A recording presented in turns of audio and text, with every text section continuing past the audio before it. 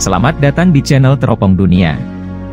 Jangan lupa tekan tombol subscribe dan tombol lonceng untuk terus mendapatkan informasi menarik dari kami.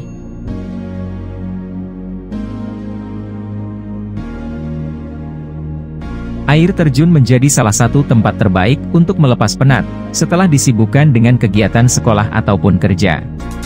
Menikmati pemandangan alam dengan suara gemericik air yang jatuh sangat menenangkan pikiran. Selain mengunjungi puncak Bogor, ada banyak tempat wisata alam yang sangat menarik untuk dikunjungi di Bogor. Banyak objek air terjun yang menawarkan keindahan alamnya yang menawan, salah satunya yaitu Curug Pangeran. Curug Pangeran masih berada di dalam kawasan wisata Gunung Bunder di Taman Nasional Gunung Halimun Salak. Sehingga tidak diragukan lagi pemandangan dan suasana yang menyenangkan saat berada di kawasan wisata ini. Air terjun ini berada di bagian hulu mata air Gunung Salak. Memiliki ketinggian 6 meter saja, dengan airnya yang sangat bersih dan jernih.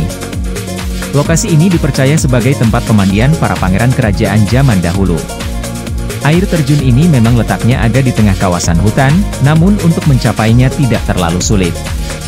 Pengunjung bisa berjalan kaki dari tempat parkir sejauh 150 meter dengan jalan setapak dan area hutan yang asri.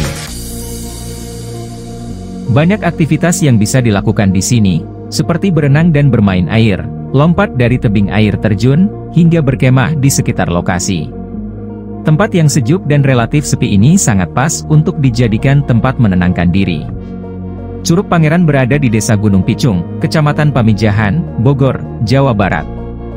Jaraknya sekitar 30 km dari Bogor, atau sekitar satu setengah jam perjalanan.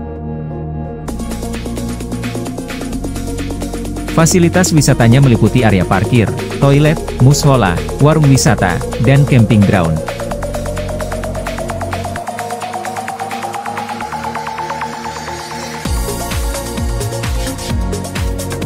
Untuk menikmati suasana alam Curug Pangeran, wisatawan bisa membayar Rp10.000 untuk tiket masuknya.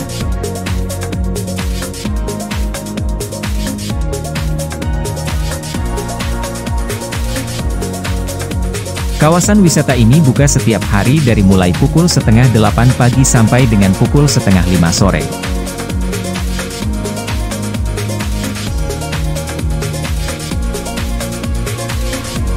Terima kasih sudah menonton video ini.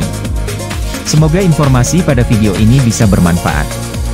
Jangan lupa tekan tombol subscribe untuk terus mendapatkan informasi menarik dari Teropong Dunia.